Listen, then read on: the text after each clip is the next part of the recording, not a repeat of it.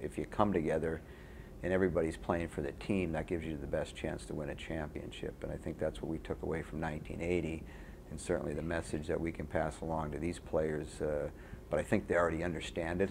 But you have to go through the process. You have to have uh, tough days. You have to have difficult games. You have to have challenges as you go through this process to, to really develop the character and the strength that you want. So when we get to Vancouver, whatever's thrown at you, you're prepared for it.